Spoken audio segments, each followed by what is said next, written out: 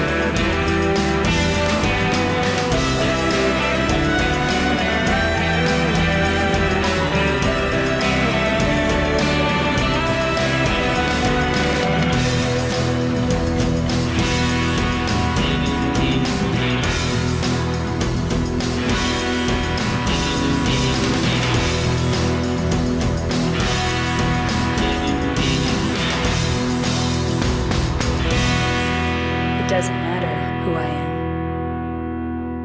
I'm here for you, James. See? I'm real.